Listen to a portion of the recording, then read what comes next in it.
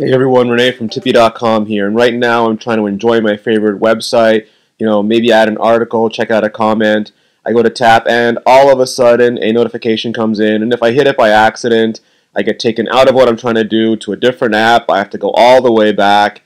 It's really annoying. You know, maybe Apple will update the framework to give some sort of visual cue or push the content down instead of rolling over it. But until then, there's a couple things you can do. My favorite is just to grab the notification, pull it down a little bit, and flick it away. It feels very tactile, very empowering. Uh, you can also just swipe from right to left when you see the notification, touch and swipe. Either way, you have to be careful to touch and keep your finger down or it will consider it a tap and take you out of your app. For more tips and tricks, go to tipb.com slash tips.